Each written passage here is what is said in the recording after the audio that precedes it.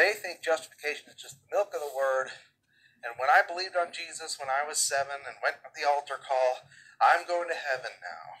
But now I need to live a, a, a dutiful, faithful life of law keeping apart from Christ to be worthy of Him. No, as you began, so you uh, by faith, we had to continue in faith. Whoever are justified by the law, you've fallen from grace. Now, these are people who were standing in grace. You can't fall from grace if you aren't standing in it. And our this is not talking about your eternal position before God. That is secure. What it's talking about is your enjoyment of the blessing. To stand in the grace of Christ is to enjoy the blessing.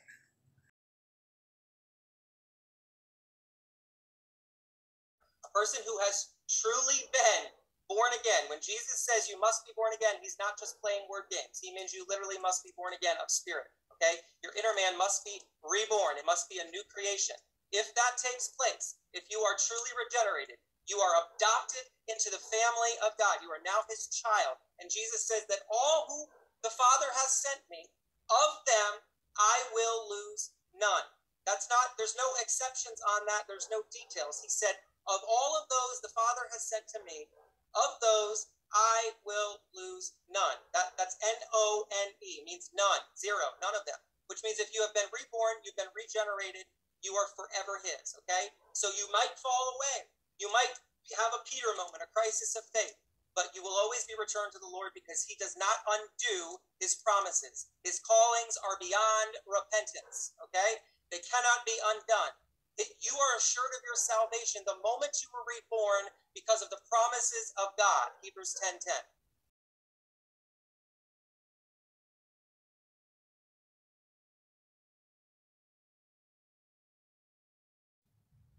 Hello, brothers and sisters in Christ, both near and far. This is Trevor with Dying to Live for Jesus, and it is my mission to seek the once saved just as James chapter 5 verse 19 and 20 tell all Christians to make it their mission to seek the lost who were once saved and are now wandering in darkness. And this is a very urgent message because for no other reason than the fact that salvation can be lost. So those who have been once saved, if they're not returned back to Jesus, that's not going to be a good eternal fate for them. And so I come very strongly against these very prominent doctrines within Christianity called eternal security and once saved, always saved, in which I'd say about 90% of Christians believe this, uh, this great catalyst of the great falling away and rebellion towards God and the hearts of many Christians growing cold because they've believed this lie that uh, allows them to believe that there will be no that they can't lose their salvation and there's no penalty for leaving Jesus. So right here, we're going to have uh, two members of these small, smaller Christian communities. They're not mainstream, but they're people I've been dealing with a lot lately. Um, David Benjamin and Morris Blackburn. And what I'm starting to notice is they have theologies that are very good representatives for mainstream, for mainstream beliefs. Now, Lordship salvation, which is what you see Morris Blackburn teaching, even though he's he's been among this group of believers that are free grace theology. But he's very much teaching the same thing that you would see like um, Paul Washer or John MacArthur or any of these Calvinist Lordship Salvationist teachers teach. Uh, you know, he believes that if you have really believed, then you're going to stay with Jesus until the end. Whereas David Benjamin believes just because you've believed and you do have salvation, it doesn't necessarily mean you would have to believe in Jesus until the end. But so these guys, they reflect two viewpoints that most Christians believe. Okay. For example, David Benjamin believes the same thing as Tony Evans believes, a very respected preacher, and also Charles Stanley, even though there's some things, some differences he would have with Charles Stanley. But Charles Stanley and Tony, Tony Evans are two heavyweights within mainstream Protestant Christianity. And they, uh, they they teach more or less the same thing that David David Benjamin teaches that once you believe in Jesus, it doesn't matter if you apostatize afterwards. It doesn't matter if you leave Jesus. It doesn't matter if you turn from the faith. You don't have to continue in the faith anymore. Whereas what Morris Blackburn believes, John MacArthur, most Christians, uh, a, a, a, decent majority, 55% or so of Christians, are going to tell you that because they believed, God's going to more or less bend their arm, take away their own choice to fall away. Okay, so you can see right here, I have choice to continue in the faith, you know the the Christian's ability to choose to stay to choose to stay with Jesus, just as we've believed. We believe and we persevere, we endure, we continue in the faith in the same way that we've believed. So now the issue here is do we have the choice to do that? Do we have the choice to stay with Jesus or do we have the choice to believe after we have genuinely believed in Jesus for salvation? So David's answer for this, Tony Evans' answers for this, Free Grace's answer for this is yes, you absolutely have the choice. And I, of course, agree with this. You have the choice whether or not you're going to stay with Jesus the same way that you began to continue in the faith. Whereas somebody like Paul Washer or John MacArthur, and as you see Morris Blackburn say, they don't believe you really have the choice to do that. They just believe that if you have believed, God has already determined that you will stay with him. It's not about your choice. God is going to bend your arm and make you stay with him. You don't actually have, by your own volition, your own choice to stay. Even though they might try to say, yeah, you'll choose because he chose you. But the truth of the matter is, they don't believe that they have the choice to walk away. Let's put it like that. That's what they're saying. They don't have the choice to walk away. Whereas somebody like David Benjamin says, of course you do have the choice. And I agree with that. This is what the Bible teaches. The Bible teaches and warns of us not walking away from Jesus, that we have to continue in the faith just as we began. And yes, we do have the choice whether or not we're going to do this. So now I have necessity to continue in the faith. So is this, does this have to do with salvation? Will you have salvation if you choose to walk away from Jesus? Once again, David Benjamin, though he says you have the choice to continue in the faith of Christ Jesus, he goes on to say, but you can walk away from Jesus and that's not going to have to do with salvation. You'll still have salvation if you choose to walk away from Jesus, you simply won't have blessings in this life. You know, you won't uh, experience the blessing of it. I absolutely disagree with that. And I would say, yes, there is a necessity for us to continue in the faith of Christ Jesus. Just as we have a choice to continue, there's a necessity because we will not have salvation if we don't continue and this is also in agreement with Morris Blackburn, Paul Washer, John MacArthur. They say there's a necessity to continue. Just as you saw Morris say, God will always, for anybody who has believed, he will bring them back because Jesus says he will lose none. So he's attaching the idea of continuing in the faith just as you began as a necessity. You won't have salvation if you don't continue. Therefore, you have no choice to walk away from Jesus if you have believed. Okay. So now what I want to do is I want to focus on these two statements that you see in red, these two red portions, and I want to point out the absurdity, the absolute absurdity of either one of these statements. And I want to use a parable to do that. But I want to show you that if they were to each delete their red statements and combine their green statements, they would have correct salvation theology. They would have correct post conversion salvation theology. What happens to a Christian after they initially believe? What do they need to do to inherit the promise of eternal life? So I'm going to present to you a simple scenario in which two men are desperately in need of a savior. They both enter into the savior and then what happens after that.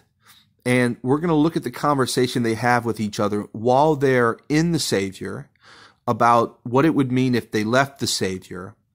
And, uh, and then we're going to take a look at what happens when temptation arises. When temptation arises, how are these two people going to react?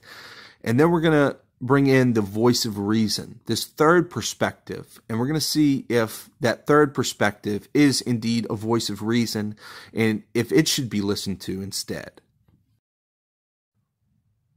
So you have two men that are on an island, and uh, their names are Morris and David. And Morris and David have just ran out of all food, and so now they're impending starvation. And so they're really hoping that they can make it to they can make it off of this island. The only problem is it's shark infested waters. They can't build enough, a big enough boat to stop these sharks from jumping into their boat. And really, they just need a savior. They need something with a really big ship. Somebody with a really big ship. Okay, so this big ship pulls up, and this is the ship of salvation. This is the ship of the gospel of Jesus Christ. And it pulls up, and the captain of that ship tells them, Come on, board the ship of salvation. All you have to do is board this ship. There's nothing else you have to do, and I'm going to take you all the way to eternal life. You just have to get on this ship. Okay? So they they both just look at each other in amazement, like, wow, we're about to receive eternal life, and we have to do nothing more than just to board this ship and get on this ship and go with him. Okay, so they get on the ship and they, they make sure they got this right. They say, okay, so do we need to start paddling? You know, do we need to uh, radio in and, and, and do these works in order to have salvation? Do, do we need to, uh, you know, conduct ourselves properly on this boat? What, what'd you say we need to do? And once again, the captain says, all you need to do is be in this ship. I've got this. I've got everything taken care of. You don't have to paddle. Just, just sit right there. I've got it all covered. Okay. And so they begin doing that. All right. So they, they go a little ways down and uh, they're they're approaching their destination, but then they start to ask each other. They say, "Okay, now we got some pirate ships that are roaming around. They're blowing cannons at us. Uh, also, we saw these cruise ships pass by." And uh, they're going the opposite direction back to the island we came from, but they look really tempting. So, Let's talk this over. So Morris and uh, David have a conversation about what it would mean for them to get off of the ship. Okay, so this is where we're going to talk about their salvation in relationship to what they're going to say here. And let's think about these statements logically. So let's start with Morris. Morris is going to say, you know what? Those are some pretty rough temptations for us to get off this ship. But the captain told me that once I get on this ship, I have salvation. I, I'm I'm as good as in the destination. So you know what that means to me? That must mean I don't have the ability to get off the ship. So even though I see these cannons and stuff, and my instinct is like I need to run, you know, and jump ship, I'm not able to. I must have some seatbelt fastened to me with a lock on it that just won't even allow me to leave. And those temptations, those things look pretty good. And in myself, I might choose to actually leave this ship and go after those things. But once again, impossible. I could never leave this ship. Okay. So now David turns to him and he says, Really? That's absurd. That's what you think? That's what you think the captain meant when he said, Come to this ship and you have salvation? you, you, are going to be delivered? You think it means you actually can't leave him? No, he's obviously saying even if you do leave and you go back on go back to that island on that cruise ship or you know you jump ship because you're afraid of the cannons coming at us, even if you do that you're still going to make it to the to the to the place of refuge. You're still going to make it to the other side, this new place that we're going to. You'll make it there no matter what. So once again, Morris turns to him and he says, Are you serious? That's absurd. That makes absolutely no sense. Obviously, we have to continue with him until the end. So let's stop for a second and let's point out the absolute ridiculousness of each one of these statements from each of these individuals. So David saying, okay, so we began by believing, we began by trusting that the captain's going to get us there. But now we can stop trusting and jump ship and leave, and we'll still get there. Does that make sense? Whereas the other one notices that that doesn't make any sense and says, obviously, he meant that we have to stay with him until the end. We can't abandon trusting in him. That defeats the whole purpose of trusting him in the first place. So obviously, anyone who truly will be saved is going to be saved by staying until the end. But you know what that must mean? That must mean we don't even have a choice in the matter. We can't jump ship. The captain's just, you know, the captain promised us that he's going to bolt fat, fasten us to the chair and and hold us up and and bend our will and make sure we can't do it. Okay, so then obviously the other one would rightfully look at the other one as being absurd, and the other one would rightfully look at the other one as being absurd, yet they're still sticking to both of their absurd conclusions. So now I'd like to enter into this with the biblically backed voice of reason. And that is, we do indeed have to continue in the faith all the way to the end, relying on only the captain. We don't try to row it ourselves. We're not basing it off of any good behavior inside the ship. We're simply staying in the ship all the way until the end. And that's the way we're going to be saved. But we also believe the captain when he says we have to stay and we can't jump ship. So we can't jump ship and go back into the waters, back to that island and, and expect to be saved. And this is all what the Bible tells us. It tells us that we need to enter into the ship, we need to continue with the ship, abide in the ship, that is Jesus, that is the gospel. Just as David Benjamin so clearly says, we have to continue just as we began. But we're also warned about leaving. We're warned about leaving. So, uh, just the idea that we're being warned breaks down both of these conclusions that they have. A, that you couldn't choose not to do it. Well, why would you be warned? And then to say that you could leave, you could just, that, that goes completely against the warning. That's doing the exact thing that the warning tells you not to. And so just as the boat captain would tell you, come on this ship, all you have to do is come on this ship and that's how you're going to be saved and that implies that if you jump ship, then it doesn't matter that you began trusting him. In the same way, that's the way the eternal security verses, the quote unquote eternal security passages, the assurance passages work as well. 1 John chapter 5, 12, uh, 11 through 13 is a perfect example. He who has the Son has life. He who is on the ship is saved and is going to be saved. But verse 13 also reminds us that we need to continue to believe in Jesus. If we stop focusing on Jesus and we stop abiding in Him, keeping in remembrance the gospel promises, continuing to believe, then we're in jeopardy. We're in jeopardy of losing salvation because that's the only place salvation is. And any speak of works, any talk of works, just like if you listen to David Benjamin teach, he also clearly teaches that that's where the works come from that's where that's where obedience comes from. It's still the same way in which we began. It's through faith. There's nothing you have to do besides to cling to Jesus by faith and that's going to produce everything in you that is needed.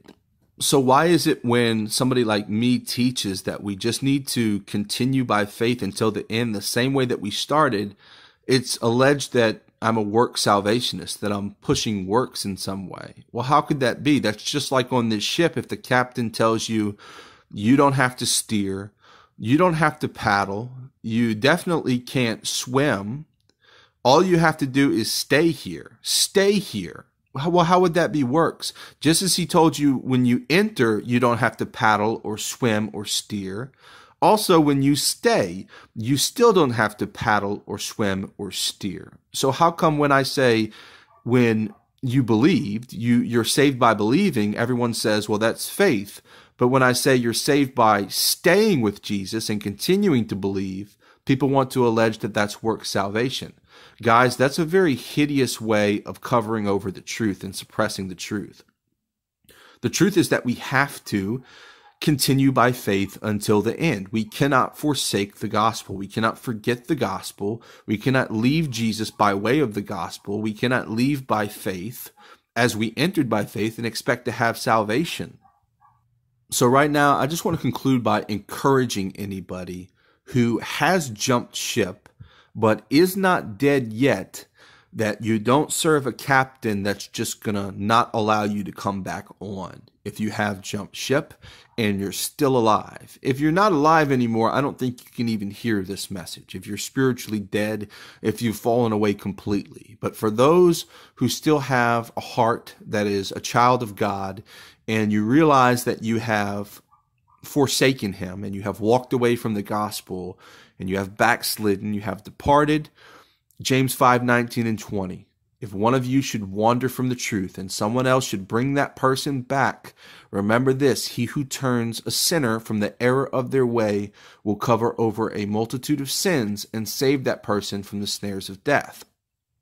Luke chapter 15, the prodigal son who packed up and left, he walked away from the faith. Okay, but when he found himself in a place of starvation, and he knew that it was due to the fact that he was no longer in his father's household. He had left his father's household.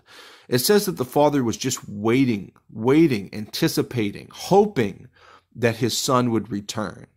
And his son came to his senses, and he knew that the only way he could avoid death, which represents a spiritual death in this parable, is if he would return to the Father. That is to repent, to leave his way, return to the Father's way, and once again abide in the household of God. And we do that through Jesus Christ. And if we've wandered away from him, there is urgency, there is warning, there's an understanding that it only comes by him and we have to return to him.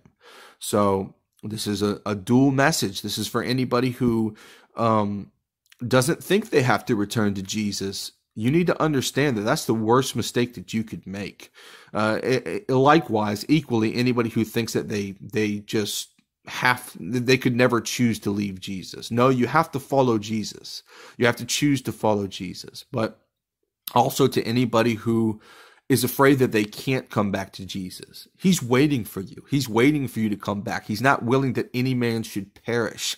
You just have to leave the realm of the flesh because the flesh is opposition to the spirit. And if you walk in that way, if you're making that choice to live by the flesh instead, you can't have it both ways. If you're living by the flesh, that means you have left the faith. And the only way to eternal life is through the faith. And you need to return to the to the faith. You need to cry out to God by the spirit that he has allowed you to partake in before it's removed and you need to cry out to him and come back to him and that is wholeheartedly because that's the only way that God will accept you. He's not going to accept a son back into his house holding on to prostitutes. Okay, if it's his if you want to live in his house, it's understood that you have to be obedient to him. And that's not hard to do. Everyone who is born of God overcomes the world. If you want to choose Jesus, he's right there for you to choose him. If you want to reject Jesus, He'll be standing right there when you do. Come, Lord Jesus. Amen.